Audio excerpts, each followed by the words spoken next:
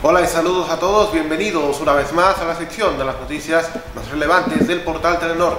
Antes de iniciar, les invito a suscribirse a nuestro canal de YouTube y dar clic a la campanita de las notificaciones. Empezamos de inmediato con las informaciones a nivel local. Un hombre penetró al apartamento del empresario franco macorizano José López Niño y robó varias de sus pertenencias en un hecho ocurrido en horas de la tarde del domingo 9 de junio.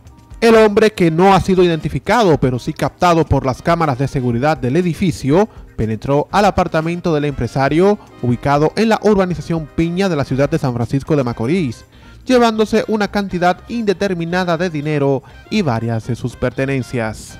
Desconocidos rompieron el cristal de una jipeta de un empresario y robaron dinero en efectivo, documentos y pertenencias en un hecho ocurrido el pasado jueves 13 de junio.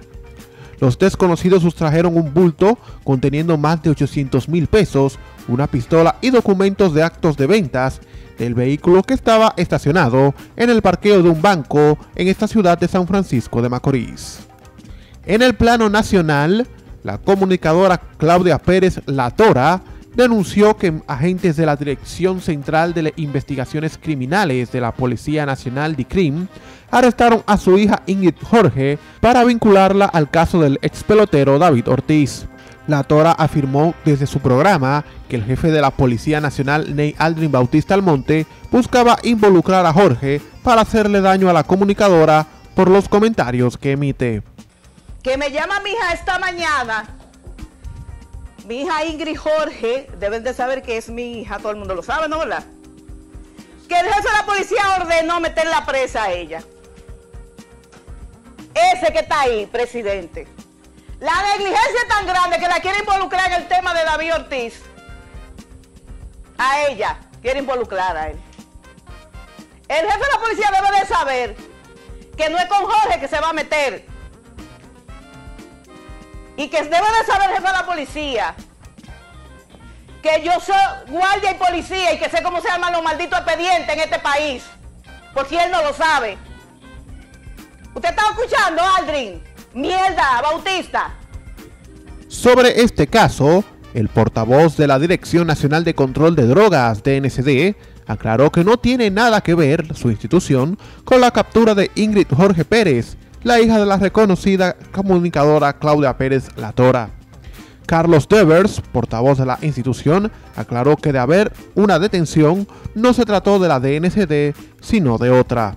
Continuando con el caso David Ortiz, se entregó en horas de la tarde en el destacamento Felicidad de los Mina, otro de los implicados en el atentado al ex pelotero de grandes ligas, por lo que aumentan a 10 los detenidos por el caso que ha consternado a toda la sociedad dominicana y a sus seguidores en el extranjero. Se trata de un hombre hasta el momento solo identificado como Alexis y conocido por el apodo de El Hueso, quien fue recibido por personal de esa locación policial luego de que fuera llevado a través de varias personas desde el barrio El Dique del ensanche Osama en Santo Domingo Este. De acuerdo a fuentes, Alexis fue la persona contratada para buscar a los autores materiales del atentado contra la estrella del béisbol el pasado domingo.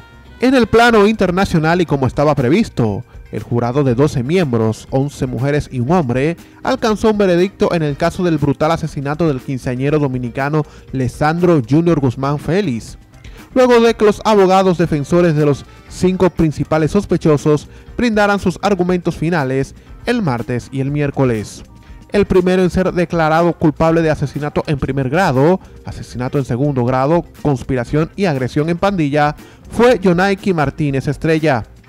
Los otros cuatro principales acusados en el asesinato de Alessandro Junior Guzmán también fueron declarados culpables de asesinato en primer grado, conspiración y agresión en pandilla.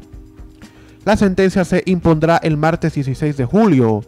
El jurado llegó al veredicto el viernes después de las deliberaciones del pasado día jueves. En la sección de farándula, la Dirección Nacional de Control de Drogas y miembros del Ministerio Público apresaron ayer en la ciudad de Santiago a un exponente del género de música urbana, quien supuestamente vendía marihuana a través de las redes sociales. Philly Alberto Rodríguez Gutiérrez, conocido en la música urbana bajo el nombre de Respira tu Dema, fue arrestado en un edificio de apartamentos de la calle Vicente Estrella, en Los Pepines, donde reside. Una fuente cercana a la investigación dijo esta mañana que a Rodríguez Gutiérrez le ocuparon 421 porciones de marihuana y 4 mil dólares en efectivo, cuyas drogas presuntamente serían distribuidas a través de las redes sociales.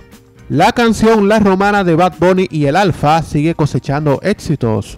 Ahora forma parte de la banda sonora de la película Hobbs and Shaw, protagonizada por Dwayne Johnson, La Roca y Jason Statham, y es producida por la franquicia Fast and Furious y se estrena en agosto de este año. La canción viene perfecta para la trama de la película, porque como es de esperarse, estos actores entregarán acción, explotarán autos, pelearán y por supuesto habrá mucho fuego. Bonnie no ocultó la emoción y compartió la publicación de La Roca, al mismo tiempo que el Alfa mostró su alegría por la selección del tema en Instagram. La canción La Romana forma parte del álbum de Bad Bunny por siempre y el audiovisual se grabó en las dunas de Bani. Estas han sido las noticias más relevantes de hoy del portal Telenor. Antes de finalizar, les recuerdo que deben suscribirse a nuestro canal de YouTube y dar clic a la campanita de las notificaciones y seguirnos en las redes sociales arroba Telenor en Facebook, Twitter e Instagram. Gracias por su sintonía y será hasta la próxima.